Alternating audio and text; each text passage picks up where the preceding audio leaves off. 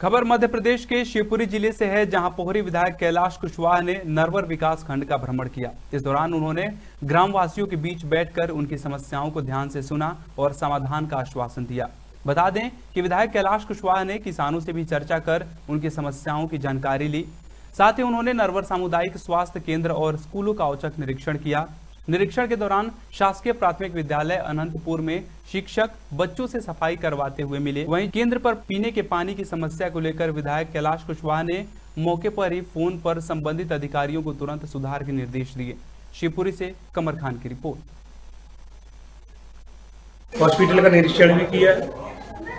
कई जगह ठीक है, व्यवस्था ठीक है, साफ़ सफ़ाई ठीक है, लेकिन कुछ कमियाँ भी पाई गई। और उनको सुधार के निर्देश स्कूल पर भी पहुँचे थे ये कौन सा गाँव? अनंतपुर। अनंतपुर में पहुँचे वहाँ पे बच्चों से हमारे एक टीचर ज़रिए बोलते हैं कांटे की वो सफ़ाई करवा रहे थे। और उनका ध्यान मोबाइल में था।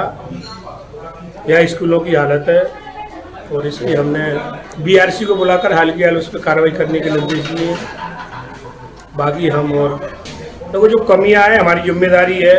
सबसे पहले तो यहाँ पे विशेष करके ना ही एक हॉस्पिटल से लगी हुई एक बाबड़ी है, उसके, उसे बंद करवाना है और यहाँ पे पानी की भी कमी है और डॉक्टर साहब ने भी बोला, यहाँ की हमारे मरीजों ने भी बोला कि पानी समय पे नहीं मिल रहा।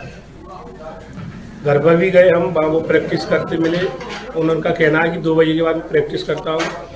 मुझे ऊपर से निर्देश है कि मैं अपना व्यक्तिगत कर सकता हूँ।